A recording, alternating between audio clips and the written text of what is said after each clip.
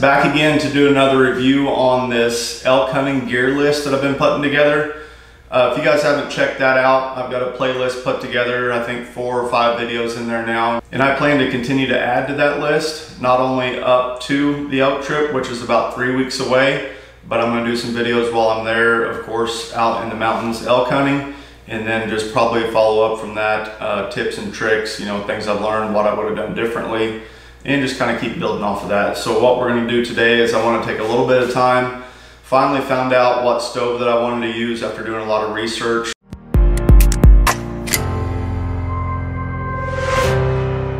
I'm just gonna kind of go through how I'm gonna run my stove out there uh, in the mountains so I can get some boiling water and run some uh, water through my mountain house mills. I'll probably have one of these um, every evening from my prior military experience, something about a warm meal at least once a day uh, just does the body really well, uh, just kind of builds that morale. And I might have one in the mornings, uh, some breakfast skillets or something like that, that are meals in a bag like this. Uh, but we'll see, but definitely something in the evening, just kind of uh, unwind and, and settle down uh, in the evenings coming off the mountains. So we're gonna dig in here and kind of go through my setup and just what I'm using here. And I'm gonna link everything down below. you guys can take a look at it there, see if it's something you might be interested in. and we'll get right into it. So what I'm gonna do is, this will all be stuffed in, fits really well easily into my Exo Mountain Gear 4800 pack. Just got an outdoor research uh, kind of storage bag here. I've got a little bit more to add to this, but give you guys a really good idea of what I've got going on in here. Uh, for me, I did not buy the proprietary uh, fuel canisters. I just purchased these at Walmart because they're a lot cheaper. I think I paid just a little bit over five bucks for this. Uh, not real sure exactly how many burns I'm gonna get out of this, but I think one will be enough for uh, about an eight to 10 day trip. But just in case, I'll keep one of these in the truck. Uh, that way, on the days that I do get back to the vehicle, uh, if I'm getting low or if I feel like I'm getting low, I can throw another one of these in the pack, in this pack, and take with me. So fuel canister right here, just get those at Walmart. Uh, right here is pretty much everything that I need. I purchased this Stanley, uh, how big is this thing? This Stanley pot is 710 milliliters and one reason I, I like this uh, is just one, it's, it's really cheap uh, compared to a lot of the other pots and Stanley's a good name brand. I've used some of their thermoses in the past, but it just packs all my stuff in here really well, except for the actual fuel canister itself, which isn't that big a deal to me. But one thing that I do wish is that the base, the platform of this was a little bit wider instead of being so tall, but it's gonna work out just fine. So the nice thing on this, and I'll show you some close-ups on this, but it's got this lever here that you kind of got to pinch so you can handle this whenever the pot warms up. So you just kind of clamp that together, flip that down, and you can see it locked into place there and then it's got a lid, a vented lid, and it's got a nice little handle there. Uh, green kind of hard polymer plastic that you can grab a hold of when the lid's hot as well. Set that off to the side for now.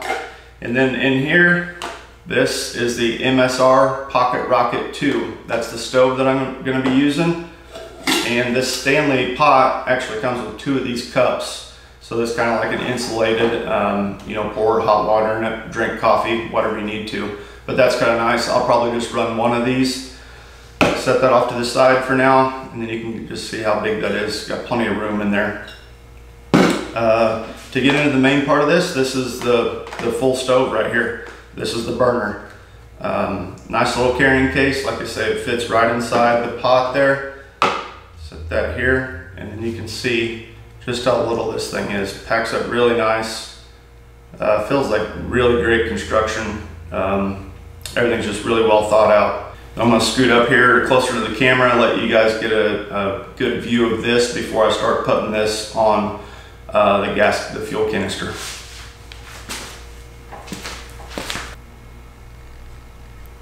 You can just see here, a really solid construction, really nice little, little outfit here. So what you do is you've got these arms that support your pot take these and they're kind of on a hinge, a screw. So you just swing that out and then this folds up right here, trying to keep all this in focus for you guys. That folds up and you can see right there you've got one arm out. So then you would do that to your other two, just like that. And continue, just like that. Right there, that's how your pot, your boiling pot sets on top. Then right here is where it attaches to your fuel tank, your fuel canister. Right here is your control valve. Got a little arrow diagram. I probably won't be able to pick it up this close on the camera, but you got a plus and a minus there. So all you simply do is twist this to adjust your fuel level, fuel output. And then everything, as you can see there, when I brought it closer to the camera, it just folds up really well, very compact. So that right there is the burner itself, the MSR Pocket Rocket 2. Fits right inside your case. Only other things I have in here right now is an extended uh, long reach spoon. Uh, big fan of those just so you don't get all grimy whenever you're eating a meal out of the bag. Pretty handy to have. And then of course, uh, fire source. So I'll have a lighter or two with me. And then of course I've got other ways, you know, flint, different ways to start a fire if needed, but uh, just carrying a simple big lighter. And then only other things in this pack right now are just some electrolyte tabs. Uh, always want to have those on me and you know keep keep the body fueled, keep that energy flowing and stay hydrated. So we'll zip this up, we'll throw this off to the side for now and we'll dig in here and just kind of show you how this sets up on the fuel canister itself and then see how quick we can get some water boiling here. So you just take this, real simple, straightforward, self-explanatory. Got threads on each, male and a female. Take your canister, take your burner, and thread one onto the other.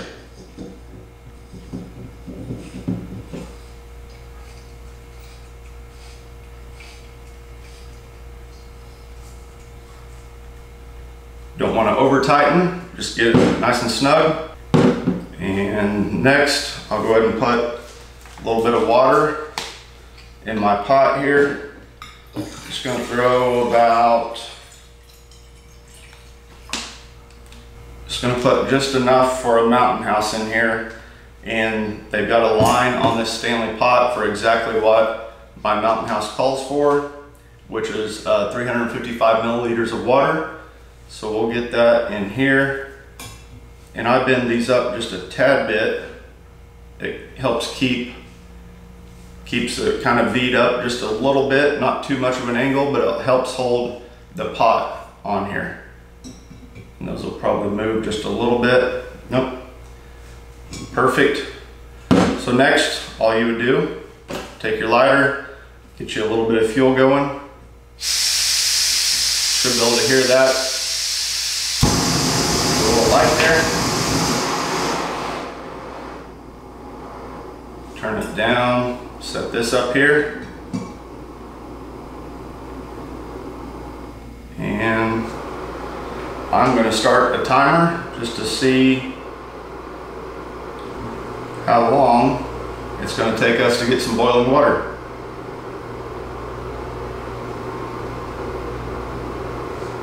So I probably started that, what, maybe seven or eight seconds late, but I got, got the timer going.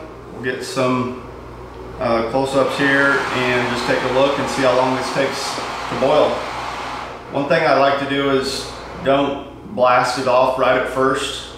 Kind of let things get warm and then you can really pour the heat to it. let's let that set here just a little bit then I'll bring this camera in once I start seeing some boils, but it shouldn't take too long. There we go guys, it's boiling. Gonna start fogging up my hands. But we're boiling, it's been boiling for like 10 seconds or so. And I didn't crank the heat right away, so within three minutes, probably two and a half, we have boiling water.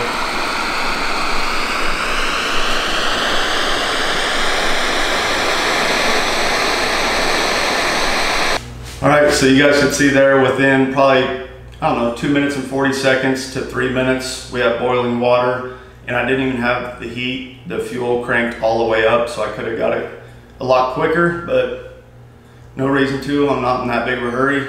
I um, That's quick enough for me. But the nice thing about this pot, like I mentioned earlier, is now that this thing is super hot, I can grab a hold right here with no gloves or anything, and I've got boiling water. I'm not gonna waste one of my mills, but all you would do is take a Mountain House mill, rip the top off. It tells you right here on the back, super easy. You just rip it off, pour the water that's boiling in your cup in here, let it set for about five minutes while you're stirring it occasionally, and you've got a nice warm meal on the mountainside. So I think I'll be super happy with this.